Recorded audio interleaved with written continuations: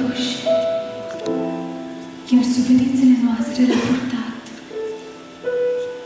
și durerile noastre le-a luat asupra Lui. Și noi am crezut că este pedepsit, lovit de Dumnezeu și smerit. Dar El era străpuns pentru păcatele noastre, zdrobit pentru fără de legile noastre. Pedeapsa care dă pacea a căzut este El.